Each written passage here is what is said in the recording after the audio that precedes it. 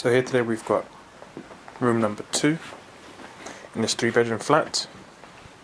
As we can see, we've got the double bed in the center of the room, and in front as we enter, we've got a desk as well as built-in storage.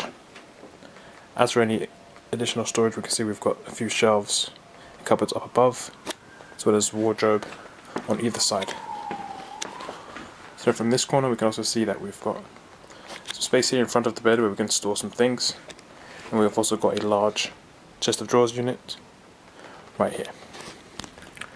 Then outside, we can see the neighbouring buildings, and we've got the elevated view as we are on the third floor. So that's it for this room, room number two.